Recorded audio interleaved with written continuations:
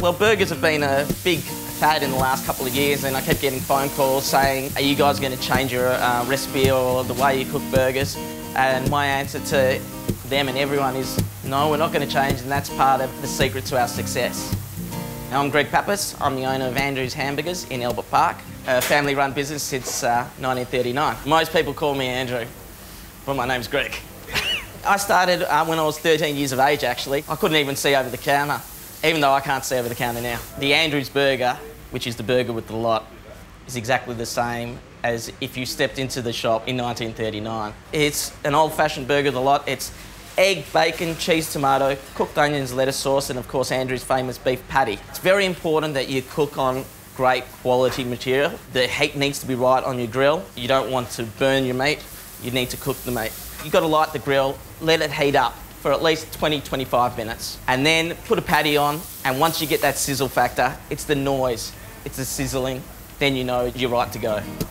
I'm really excited about taking what we do here at Andrew's Hamburgers in Albert Park and trying it on a Matador barbecue. Today we're cooking the Andrews hamburger with a lot. We've got our beef, we've got our bacon, we've got our cheese, we've got our onions, lettuce and tomato. We're ready to rock and roll. First of all, and the most important bit, is the beef. Oh, you can already hear that sizzle. Next thing we do, a little bit of onions on each of the patties. Press the burgers down. Not too much because we don't want to take too much juiciness away from the burgers. The onions keep the burger together and they also give a fantastic flavour and texture to the meat.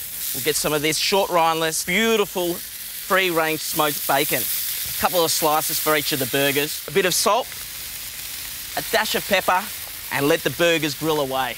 As the burgers are cooking, you can see the colour coming out and the, and the smell and the flavours. You can, you can smell it and you can hear it sizzling away. It's got that brown type of crispy layer which gives the meat that crunchiness. The actual surface of this hot plate is unbelievable. Nothing sticks to it. And the heat that this barbecue creates, it's, it's absolutely amazing.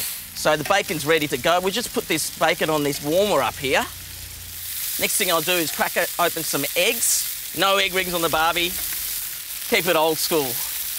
Next thing that we're gonna do, put some beautiful cheddar cheese. And putting the cheese on the beef, the actual beef cooks a lot faster and, and it just gives it flavour. One egg on this baby. The other one, that's my one because I like my egg runny. A lot of people in Australia always put just fresh tomato. Well, I don't. I cut the tomatoes a little bit thicker, put it on the grill. Not for long, maybe 30 seconds on each side. It just gives that, that, that real juicy tomato flavour. Let's just get these buns. We'll put them up here for about 30 seconds or so. Just let them warm up.